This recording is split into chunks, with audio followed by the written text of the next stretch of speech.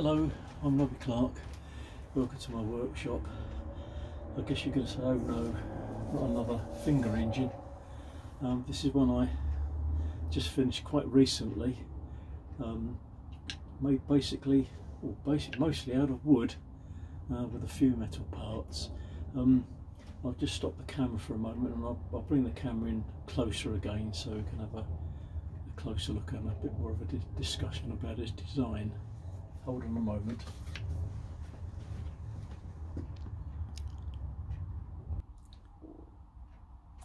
Hello, back again. Um, I had planned on making this uh, finger engine before I made uh, the metal one, which uh, appeared in a, a, video a couple of videos back. Um, I'd seen um, this model uh, on YouTube, um, just a short video of someone who built one of these and just showed the engine running. Um, they gave a link to uh, a site on the the web um, which showed the wooden engine in a couple of different configurations but um, there were no uh, sort of plans with exact measurements or anything else so um, it was really basically um, just try and build one and see what happened um, it was actually um, strangely enough quite a difficult build um, I made it out of literally uh, just odd scraps of wood that I had in my workshop.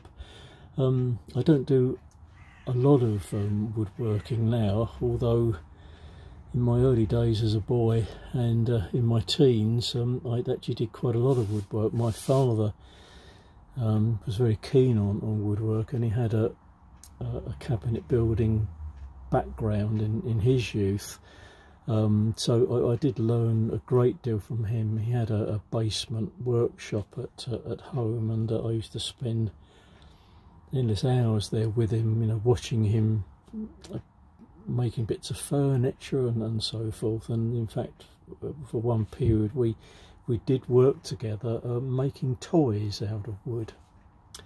Well, anyway, the um, construction primarily is uh, the plywood is a plywood flywheel, um, which um, I, I, just sort of drew the shape out with a compass um, and then uh, trimmed the, the wood down near to size and then mounted the, the flywheel on my lathe uh, to cut the, the perfectly circular shape. Um, I was going to leave the flywheel plain, but I thought it'd be rather nice to have these uh, holes cut in it uh, to make it look like spokes. And I've put it on my um, rot rotary head and plotted out the six holes here very accurately. And then on my drill bench, I used the Forstner bit to, to cut the holes in it. Um, and just gave it a, a, green paint job just to, to make it look nice. Um, the, the two other parts here, the two frames, uh, were made out of the same the same piece of wood actually. Um, the arms, I wanted to make it, you know, obviously quite quite thin wood, and I, I had a, an old scrap of oak which uh, I cut down to, to size uh, to make the arms. Um, this was the difficult part actually um, getting the arms the correct length to balance the whole thing out. Um, to start with um, it just wouldn't work. Uh, I tried all sorts of, of, different ways configurations I, I, I, thought I'd put the um, pivoting point here in the wrong place and you see there is a hole here where it originally was and I moved that a bit closer uh, to the shaft point here, but it still didn't work. And then I realised I'd probably made this arm too long. It was very much longer. Um, so um, I cut this down, um, sort of re-drilled the holes here. Um, all the bearings are made out of brass.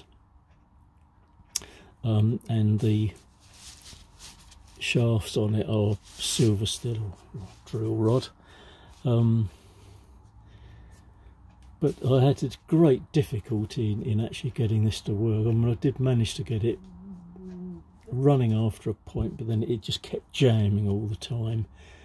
Um, so it, was a lot of um, playing around and readjusting. I moved this um, part back slightly.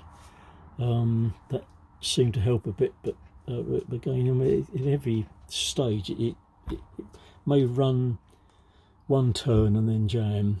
Uh, so I end up moving this back into its original position.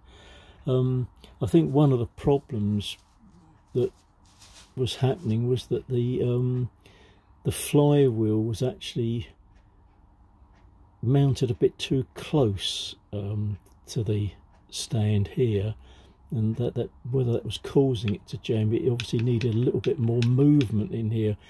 And it was sort of a case of just playing around with it for hours. Um, I spent days basically working on this but it, it took as long to build this one as it did to build the whole of the metal one. Although you know the, the flywheels were I already had these. I'd made those a long time back but it was really a matter of um, of perseverance. Um, you know just never give up on trying to get the thing to run but uh,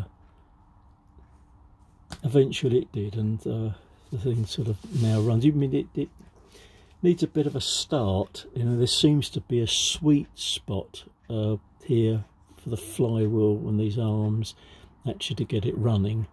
And I've um, got my wife to run it and my son one of my sons to run it you know, just to confirm that you know could be operated by anyone in fact. But it is all quite nicely balanced now uh, it's just sort of a nice thing that you know you could build out of any old uh, scrap bits of wood. It's not exactly a, a Sunday afternoon project.